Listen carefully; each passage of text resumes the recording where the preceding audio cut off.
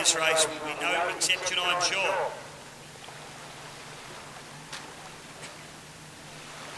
So don't forget, ladies and gentlemen, if you've really enjoyed the outboard racing here today, we've got a lot of outboard racing coming up in two weeks' time at Lake Charm for the Archer Eve Memorial.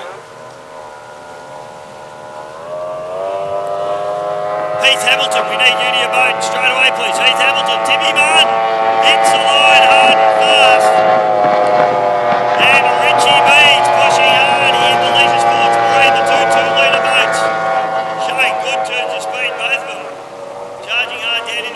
Turn.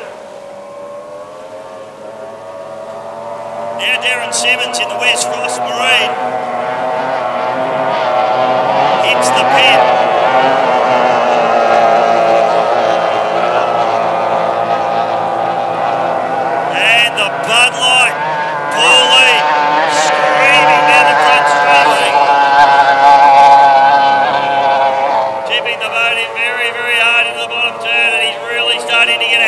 This boat now.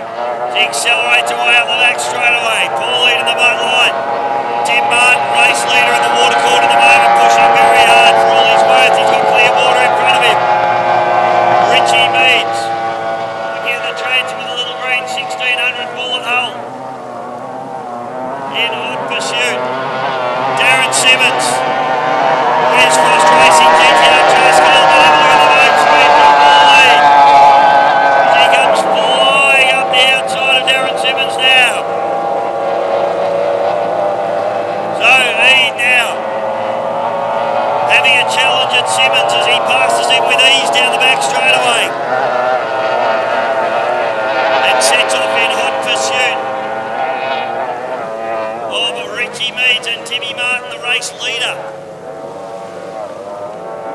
Timmy Martin still holding him off at the moment. Richard Meads throwing everything at it as he comes up the front straight away. Paul Lee now in the Bud Light. Overhauls Richard Meads comfortably. Timmy Martin will have no show of holding him off now as Mead comes around the outside of him and accelerates away and moves into the lead. Bud Light Racing.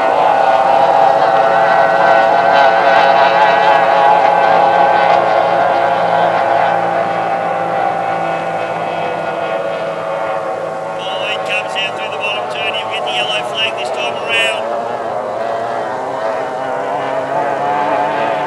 One lap to go for Paul Lee to the Bud Light.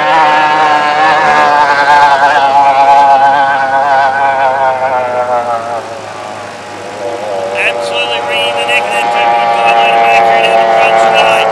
Timmy Martin in a second. He's still doing a good job of holding off Richie Meads.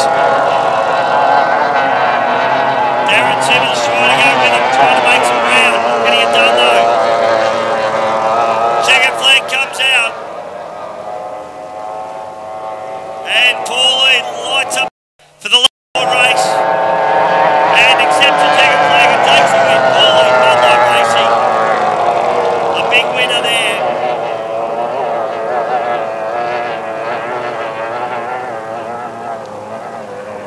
Down the bottom turn and Timmy Martin still desperately trying to hold Richard Meads off in the LS Marine Racing entry. Timmy Martin though, he's going to be the first one home